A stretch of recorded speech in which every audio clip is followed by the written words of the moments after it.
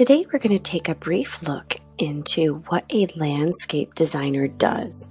So, we're going to look at this art career and just take a quick peek as to, you know, what it's like to design gardens and somebody's backyard. And then we're going to zoom in and create our own imaginary garden and add in some different features and things like gnomes or fairies or anything else that you want to add in. Let's take a look at this how to plan a landscape design. So if you were a landscape, you know, designer, you would be looking at somebody's yard and think about, hmm, what are some areas that I'm going to highlight or feature or plants that I'll put in here to create this amazing place to go around? So, the first thing that a landscape, you know, designer or architect, a professional starts with is they look at the property like survey and they see that map that usually gives them an idea of, okay, this is what I'm working with. So they'll see where the house is, how big the yard is, what other plants are currently there, and how much space they have to use. So you can see how this shows like the streets and just a lot of other features and areas. And then what they do is they take that space and they plan and play with it and get ideas of, you know, do you want to put a deck down? Do you want to put different plants and various things here or there, a pool even, um, a waterfall? You think of all those little features that maybe you would love in your backyard or your dream yard that you could go run around and play? Would you have, you know, a big giant swing set area, your own obstacle course, or, you know, trampolines that are in the ground? I mean, you name it, whatever you come up with, they come up with that plan. And once they do that, they sketch out many different ideas. So just like when you draw your stories or your paper, you write a story, you draw different things, you start off with a sketch. And then once you get what you like, you go in and add all those colors. So this is one of the final plans. As you could see, like this would be the house, and then they would show how they would take that yard and they would add in all these different features and areas. So, like, here's a pool, here's the deck, areas to sit at. You know, this is obviously the house and the driveway, and like a water feature over here and a big yard. So you think about all of those things. And what I'm going to have us do is to go today and understand and create our own. Like if you were in one area or corner, how would you take um, and zoom into a spot on your plan that you come up with? course. So here are some examples of gardens.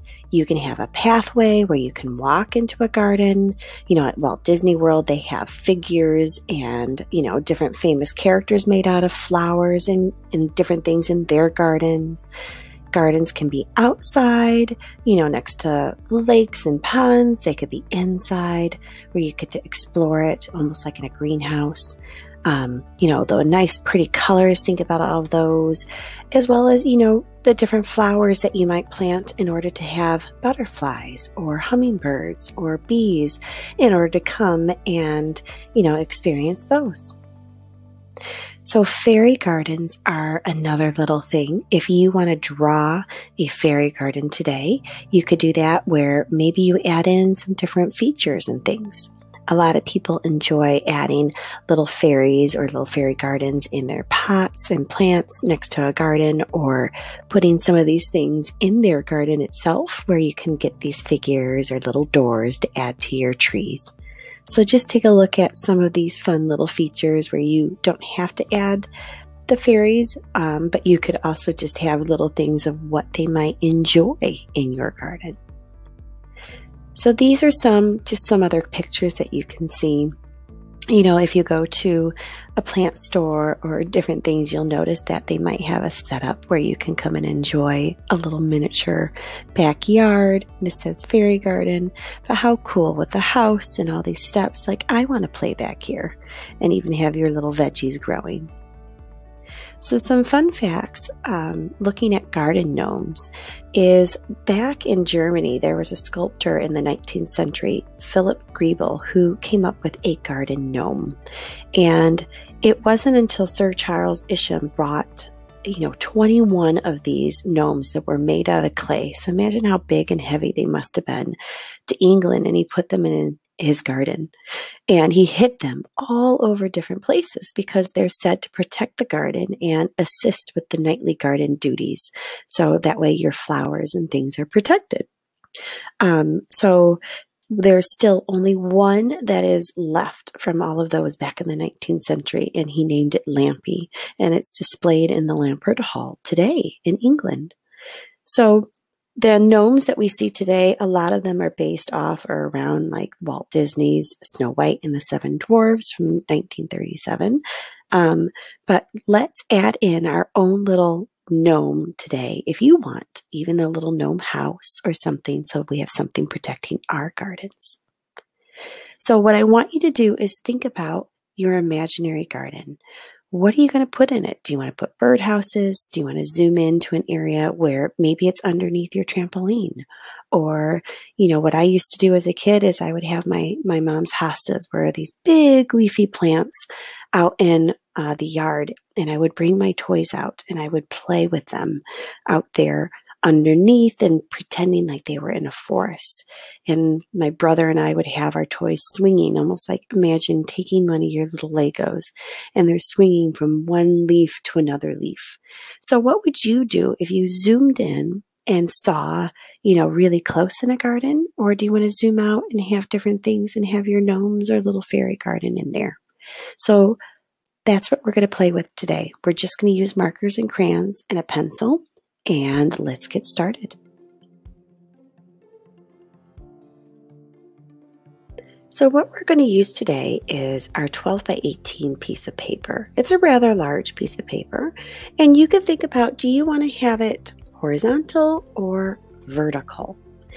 The first thing that I'm going to do on here is I'm going to draw a treehouse. So I'm going to start off with a triangle top and draw these two lines on the side.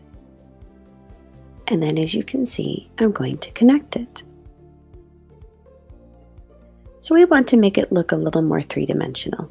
So I'm going to draw two lines off to the sides and draw a straight line to connect those.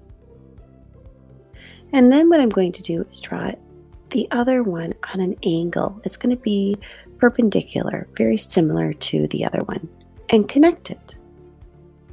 So you can make your roof any design that you want. I'm just drawing a couple of lines on here. They could be a little wavy, whatever you would like.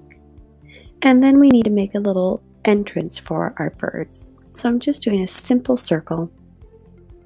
And what I'm going to do in order to make the perch of what I want the birds to go on is I'm going to do a little curve. Draw these two lines and connect it with a circle. So now it looks like one of those wood dowel sticks sticking out there so the birds can land on it. The next thing I'm working on here is adding on the stand.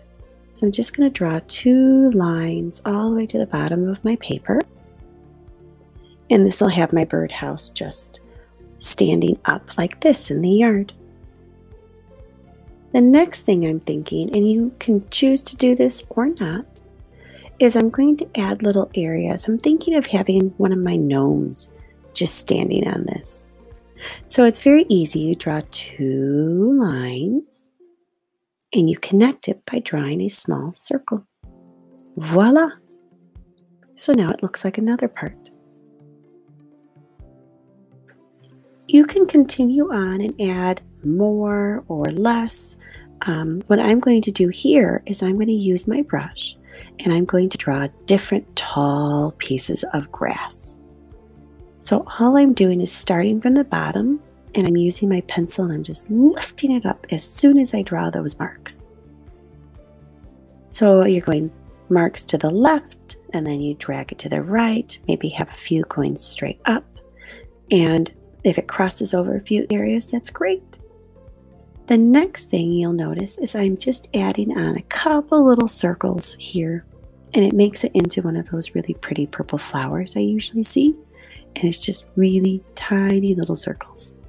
So here, I'll zoom in on this spot so you can see what I'm doing.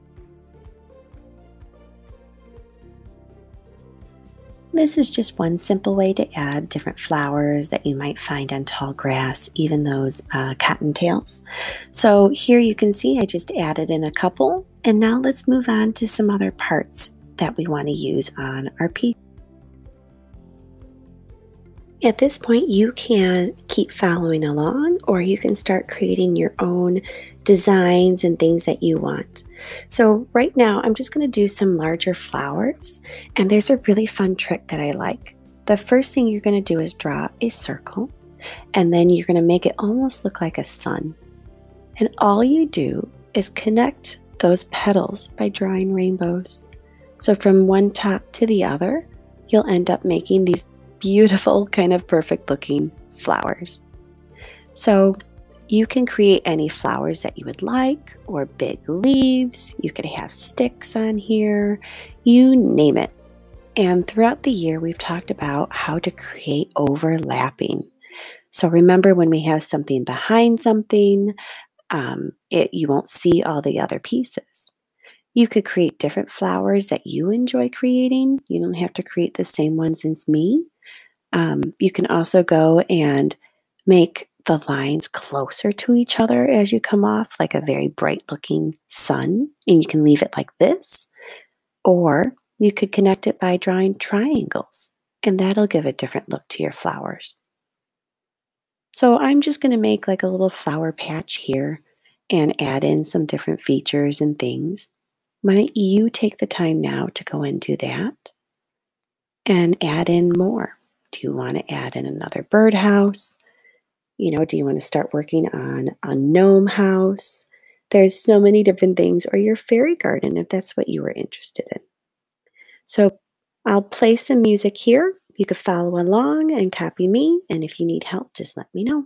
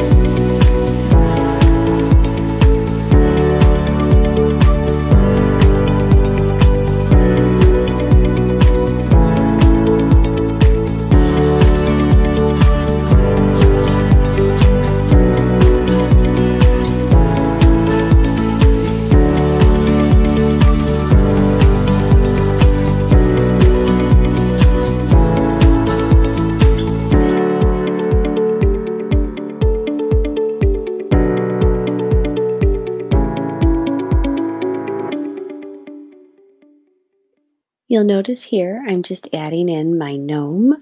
I have a handout for us on how to draw different gnomes and expressions. So you can either copy me from here or you can look at the paper that um, I'm sharing with you in class, as well as in our Seesaw or Google Classroom. But it's quite simple. You're just making it any way you want. I'm going to hide a couple of gnomes in my garden too And if you don't show all of it, their body, that's fine because sometimes they're hidden. So you could have just a hat poking up, you could have them popping around a side or a corner, or you can have a little gnome character here. Maybe I could even have him fishing, like he's trying to fish into one of my ponds.